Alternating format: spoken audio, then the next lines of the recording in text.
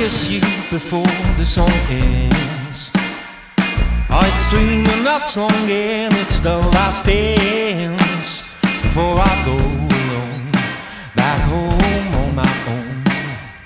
But there's something that you need to understand is that I've got.